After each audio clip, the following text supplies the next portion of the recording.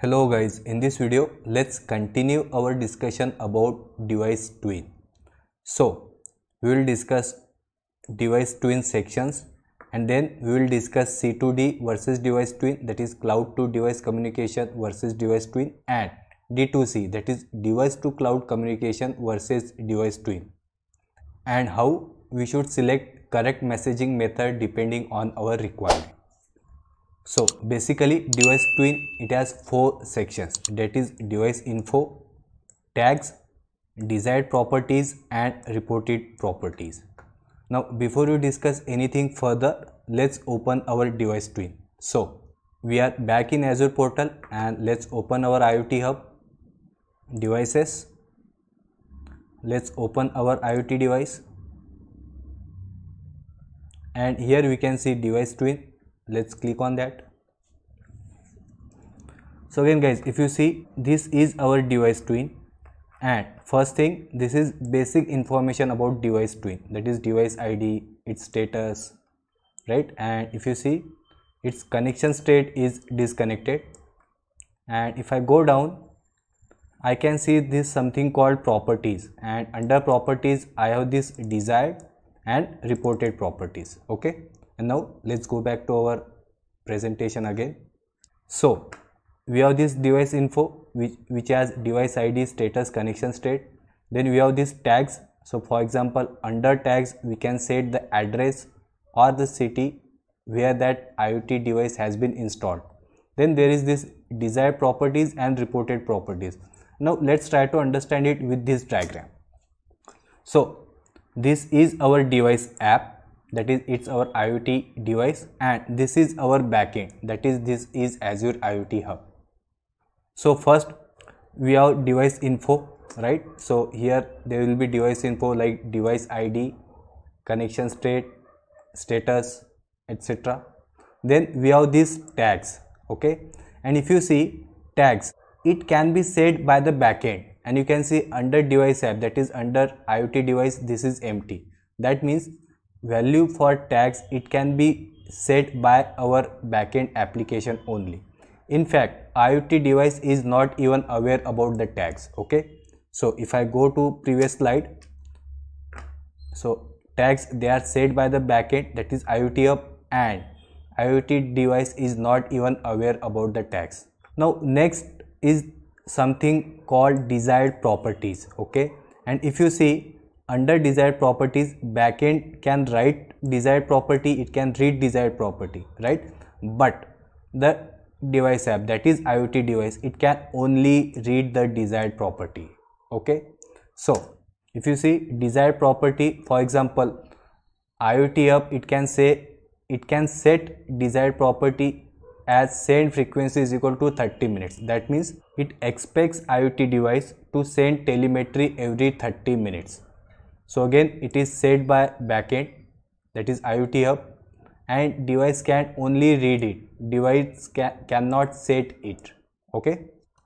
Then we have this reported properties. So if you see backend it can just read it. But device app that is IoT device it can read and write. That means IoT device can add property under reported properties section. So again Say for example IoT hub it has asked for a property that is set frequency is equal to 30 minutes.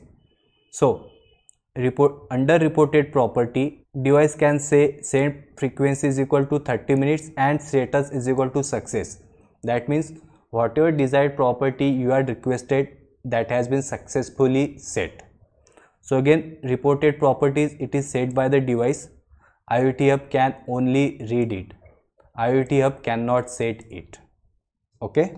Now using reported properties and desired properties, IoT Hub and IoT devices they communicate with each other. That is, it is a two-way communication. But then, if you remember, we discussed about D2C and C2D as well in our earlier videos. So you may have a question that we can use D2C to send messages from device to cloud, but we can also use device twin for the same and we can use C2D that is to send messages from cloud to device but again we can use device twin for the same. then how we should select correct messaging method based on our requirement. And now let's discuss it. So first d2c versus device twin. So use d2c to send telemetry. Again telemetry means value measured by the sensor of iot device but use device twin to set available capability.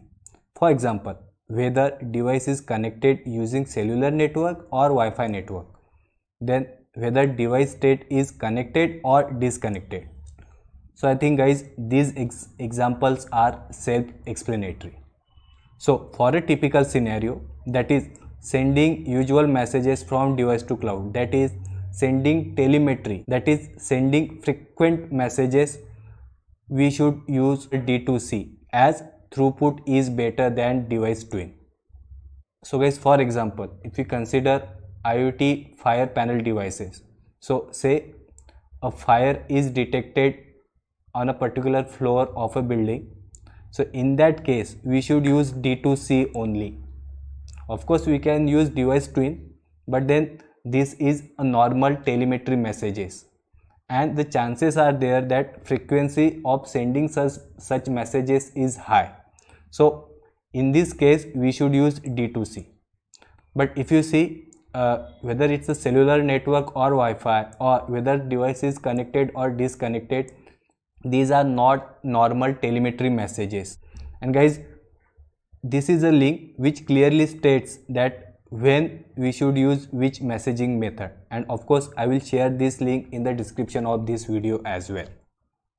And now let's discuss about C2D versus device twin. So use C2D to send notifications to the device. Again these are normal notifications or messages but use device twin for long running command. So for example backend that is Azure IoT Hub asks device to update its from firmware. So of course this is a long running process and in that case we can use device twin. So basically when the firmware is getting updated device will will keep on updating IoT Hub about the status. So for example it will say status initiated then it will update status in progress then it will update with status completed. So again you can see it's a long running process and as and when there is an update device keeps updating azure hub about the progress okay? And then we can use device twin to store metadata of device. For, for example location. And another difference is in c2d message is delivered to the device directly. But in device twin property values are preserved. That is the changes which we make through property values they are preserved in device twin. And device can read it using IoT Hub query language from that device twin JSON. Okay? And again this is the Microsoft's official link which clearly states when we should use C2D and when we should use device twin. And again I will share this link in the description of this video